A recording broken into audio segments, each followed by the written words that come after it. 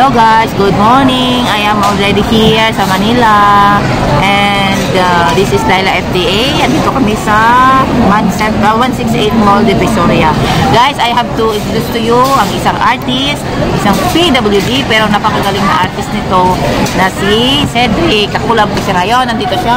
Hello, hello mga ka-artists at mga viewers ni Laila FTA. Huwag natin kalimutan kanyang YouTube channel ang Laila FTA. Like, comment, and share at subscribe para maging updated. Si Cedric naman, meron siyang Facebook, meron sa Instagram, meron sa TikTok. Ano pa ba?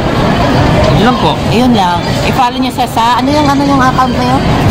Aking Facebook account, yung page. Huwag kalimutan ng like and follow aking Facebook page. Cedric John Mayano. Oo. Ng aking YouTube channel, Cedric John Mayano. Same pa rin.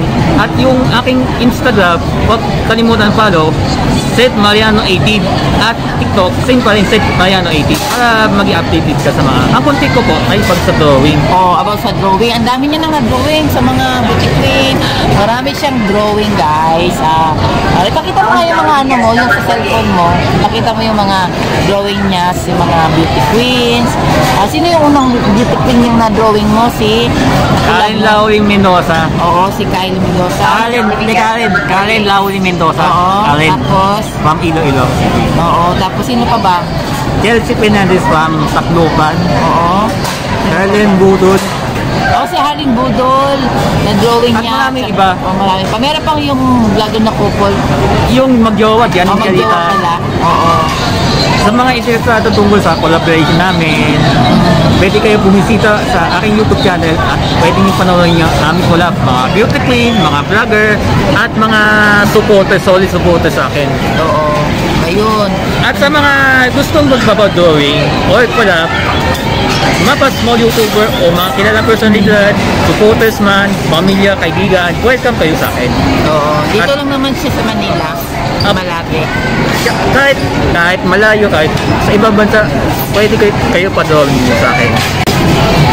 Makontak mo siya sa, eh, sa Facebook, sa Instagram, sa sa TikTok. At Pwede, pwede nyo ko i-message sa Facebook page, isa nyo sa picture para i-drawing ko po. At Yung account niya, nasa, ilagay ko sa description below, yung, yung ano niya, yung ah, account niya, kung saan nyo siya i-visit, saka i-visit nyo yung ah, YouTube account niya. Diba? Ayun. Tapos, uh, ka-artist din siya ng anak ko, kasi nag-drawing din yung anak ko. Ayun. ang galing kaya mag-drawing yun. Thank you. So ngayon, ito yung drawing ko. Nagawa ko. Pasensya na, hindi ko na-frame Ah, may drawing siya. May drawing. Guys, meron siyang iba, ibibigay na drawing para sa anak ko. Ito po yung anak mo kay Suset. Okay, Suset. Ate Suset, may drawing ka para Kaya, sa'yo. kaya ginawa ko kung mag-drawing ay dahil napakalupit mag-drawing. Sobrang galing at mas magaling kaysa sa akin. Galing ka rin, dalawa na kayo magaling. totoo lang yan, honest na ako ako. Thank you, Cedric. Ito yung drawing niya. Binigay niya, ibigay niya sa anak ko. Gift daw. Hindi niya doon na-prepare okay lang. Okay na yun. Bigay ko sa kanya. Pasensya na, wala akong frame eh. Sige lang, okay Ayaw lang. mo ko po. This thing. Kasi- Ilang taon ka na ba? Ilang taon ka na? 26 po. Ah, 26. Hindi ka na nag-aaral ba? Ah, nag nag-stop po ako dahil sa financial problem. Akala ko, ini-expect ko, walang mangyayari tambay-tambay lang kasi nag-aarap ng trabaho, mag-drawing. Pe- Pero nung, di ba, bag, iba nung wala, di pa ako YouTuber, ang dinadrawing ko po sa mga sa labas, sa mga mall, sa mall, ang huli, 2019. Tapos, makatapos sa 2020, iba March 20, 2020, Oo. ang taon ng pandemic, eh natigil, na, na, nag-lockdown. Nang pag-isipan ko, marami nag-request sa akin mag, mag-vlog daw ako kasi baka masisikat daw ako sa talent. Oo nga. Para sa akin, eh, hindi ako naniniwala kasi hindi wala mga rating kasi mga sikat lang ang maangat. Eh, napag-isipan ko, ginawa ko lang, sakto, lockdown na, mag-vlog ako. Ang expect ko, yung subscriber ay napakabagal, mababa views. Eh, sa totoo lang, mun muntik ako sumuko kasi walang marating. Eh, nung dumating, dumating ng October, November 2020, eh, hindi ko in-expect. Eh, unti-unti umaangat ng subscriber. Views. views. Tapos- Dahil din sa mga collab, di ba? Wala pa collab, 2022. collab. Tapos 2021, yung vlog drawing, di ba, wala, lockdown pa rin. Tuloy-tuloy. Eh, hindi ko ni-expect. Maangat ang unti-unti yung mga views. 20 year ng 2021. Pero dumating ng 20, 2022, nagluwag ng restriction, kaya hindi ko ni-expect may collaboration. Oo. Yung, yung mga ang bago, exciting part. bago ng collaboration, yung mga supporters muna, yung Papa Drawing, nabigay, nabigay ko sa kanila. Dalawa yun eh. Bali, hindi, tatlo, tatlo pala. Yung isa, taga Manila. Isa, yung isa taga Ormoc. Ang isa, isang vlogger yung OFW, si Lilin Kyle. Nilin and Kyle. Ako, nabigay, ta, taga Macau. Oo. Pero hindi ko ni-expect, ini-expect, sunod-sunod mag-collab. Yung isang, yung YouTuber, dati small YouTuber, taga Manila. Eh, Ngayon, sumisikat na yun, yung si Charing Charita, magjowa. Yun kauna-unang collab namin. Oo, may collab sila doon. Sa mga parties, sa mga hindi ba napanood namin, pwede nyo bisita yung YouTube channel namin sa Region Mariano, yung collaboration namin ni Charing Charita, yung Drone Challenge. At pwede kayong pumisita ng You- YouTube channel ni Charing Charita. Andun yung collab namin, yung Art Challenge, kung saan nag-drawing sa akin. Napapalupit mag-drawing kahit hindi content pag-drawing. Oo nga. Nakita namin yun. Ang galing-galing nga eh. Maraming salamat kapatid. Thank At, you. at pagkatapos ng collaboration, akala ko hindi na mangyari kasi bihira yun. Hindi ko in-expect mga kilala ba sa personal- personalidad, mga beauty queen, Saan, artista, saan kayo na place nag-collab noon? Pumunta ka doon mismo? alin. Yung si yung magjowa? Yung, yung nag-message sa akin. Ah, may, bali, through message lang. Kaya kayo nag-ano, collab. Opo. Ah, Kasi okay. nakita yung nilang drawing ko. Sabi, abang nakapag-lupit ng drawing.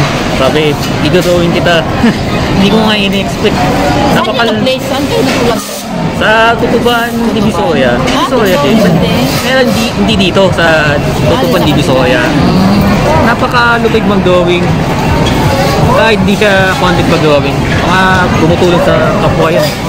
Tapos nung next mong mga ano, sunod-sunod na yung collaboration. Pa, mga sikat na. Oo, mga sikat na ha. Una-una, mga beauty queen. Oh, mga beauty queen. Sunod, mga artista na. Sunod-sunod na. Si Harlin, si Harlin Budol, ano niya yun. Opo, yung artista yan, hindi lang yung beauty queen. YouTube, sikat vlogger yun, di basta-basta yun. Ang pinakauli ng collaboration namin, si Rabea Mateo, yung Yun. di lang yung di lang siya pagiging beauty queen, artista din yun. Oo, si Rebe mag, ano. Di ko, di ko in-expect mangyayari pala yun. Pero yung sa ano, yung ibang mga nakita kong mga drawing, sila Pia, sila, sino pa ba yun? Yung nag-drawing mo, yung binigay mo na lang sa kanila yung mga picture. Sila Pia, yung Miss Universe, yun. Ilan kayo magkapatid? Bali, apat kami. Ako pangatlo, bunso lalaki. Tatlo kami, tatlong lalaki, isang babae. Pa- parents mo, andyan pa? Ah, nasa bahay po. Ah, wala silang work, nasa bahay. Wala, wala po. Bali, nag-alaga sa akin. Okay. May, may kapatid ka man, may asawa na. Wala pa po. Basta ano lang, tuloy-tuloy lang buhay. Tapos, alam nyo guys, si Cedric, ah, sumikat siya. Lalo na yun, lalo nagbabash, siya daming nagbash. So, mas lalo siyang sumikat dahil sa mga bash. Pero wala lang, smile lang siya. Ah, nag-document lang siya ng ano, sinasagot niya lang yung mga nagbabash. Yung mga nagbabash naman, ah, huwag lang masyadong ah, bad comment. Kasi, nagdo-drawing lang si Cedric, wala naman siya inapakang Ah, basta tuloy-tuloy na yung ano niya, tuloy-tuloy na yung pag-drawing niya. Alay mo, God blessing, marami pang mga sikat na artista na mag-collab sa kanya, tapos mag-drawing sa kanya. Eh, minsan kasi yung mga baso lang magawa, di ba? Normal lang yung mga basher. Di ba mga artista, mga beauty queen? Normal yun, may basher. Yung Kasabihan, kapag may basher, hit man natin, huwag natin pansinin. Oo. Saka, kung, kung walang basher, di kami sisikat. Sikat na siya dahil sa bash. ah, di ba? No, hindi lang naman tayo, lahat tayo, di, di natin maiwas ang mga bash kasi ang mga basher ay blessing para sa atin. Yes. Para pag-angat, para pag-angat, para magkikilala tayo bilang social Saka media si Cedric influencer. naman, may, may nag-comment doon na ah, more improvement. I-improve niya yung mga, ano, yung mga sabi ng nag-comment na i-improve yung drawing niya, i-improve niya naman. Walang problema doon. Natural lang yun. Pero yung mga magbabas na gagamitin mo yung pagka-feed, ganun di ba? Sabi gagamitin mo yung pagka-PWD, kasi dito sisikat na, huwag naman ganun. Hindi naman ganun, hindi naman dapat ganun. Lahat, lahat naman tayo. Pero kung walang budget, tayo. Oo. Ah, May nag na pala. Pero di pa akong vlogger, 2020 lang. Ang- Pero na-upload upload ko po yung kay President Duterte. Throwback lang kasi di pa akong YouTuber. Sila kita lang doon. Pwede nyo panoorin yung aking YouTube channel, yung President Duterte Maganda doon. sana no, uh, i-drawing siya, tapos dalhin ko doon. Kasi pupunta kami ng anak ko doon sa bahay ni Duterte. Oo, pupunta kami doon. Magsabi ko mag-drawing ka, tapos ibigay natin kay President. Malapit lang doon. eh. Kaya sayang, hindi ko na nalala. Oo nga eh, Bawi hindi na lang. naisip no. Susunod na lang. Pwede naman i-scan. Pwede yun i-scan. Ako, pwede i-scan Oo, ko. tapos i, i ano. Ganyan. Sige, sige, i-send mo sa akin. Send mo sa akin yung email mo. Ganyan ang I-scan. ganyan ginawa ko yung isang taga isa vlogger si Lenin Lenin Andelin and Kyle. Oo. Ang ginawa ko page taga Macau, Oo. in-scan ko, binigay ko sa kanya. Saka Oo. yung greetings pala sa akin. Oo. Yun yung isang supporter sa akin, taga Support Ormo. lang tayo guys sa kanyang account. Same pa rin, scan, is bigay. Oo. Ang advice ko sa iyo kapatid, kahit may bash sa'yo, huwag mo na pansinin. Oo nga eh. Dahil mo na. Ah, at least, makilala ka sa buong social media. Oo, nakaranas na ako, sanay na ako. Dati sa una, parang ayoko, pero nung na-realize ko, nasanay na ako. Saka yung advice ko po, Saka mahinang loob mo pag uh, patulan mo din sila. ang advice ko po sa anak ko, sa pag-draw, kasi napanood ko sa TikTok na napag, napakagupit ng mga drawing. Totoo nga, mas magaling kaysa sa akin. Continue ng mag-drawing, magtitigil. Kapag may hindi na gusto, eh, improve, improve, motivation, at least. Kaya nga. Anay natin, magugustuhan. Naniniwala ko na magugustuhan at 100% maraming mga sikat, mga supporters, magugustuhan na appreciate. Basta tuloy lang, laban lang, huwag tinigil. Soon, parang araw, magiging, magiging sikat artist yung anak mo. Inshallah. Inshallah. So yun lang guys. Medyo mahaba pa yung kwentuhan namin. Saka baka uuwi na si kapatid. Opo, may Oo. gagawin pa ako. Thank you very much guys. Ah, support nyo lang yung aming YouTube channel, Laila FTA at si Cedric yun, maya na tawagin niyo ako ka-artist eh. Artist. Okay? Thank you guys. Thank you for watching. Maraming Bye-bye. salamat, ingat kayo palagi, mga ka-artist at mga supporter ni Laila. Maraming salamat, God bless.